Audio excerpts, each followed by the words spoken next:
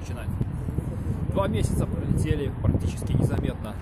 Мы усердно работали, участвуя в этой предвыборной кампании, так называемой, для того, чтобы попытаться использовать все законные способы. Однако, несмотря на якобы либерализацию, эта власть показала, что они не готовы вести открытый диалог с народом. Большинство кандидатов уже сняли. Кого не сняли, те, мы знаем, что не пройдут. Но что-то надо делать. Эту жизнь необходимо как-то менять. 25 лет диктатуры привели к тому, что мы оказались в не самом лучшем положении. Политики, к сожалению, не могут с этим справиться, и общество начало просыпаться, люди сами берутся за дело. Но я думаю, для этого не нужен призыв. Любой свободный, здравомыслящий человек это и так знает. Именно поэтому я, блогер Серый Кот, приглашаю вас 15 ноября прийти на Октябрьскую площадь в пятницу в 18.00.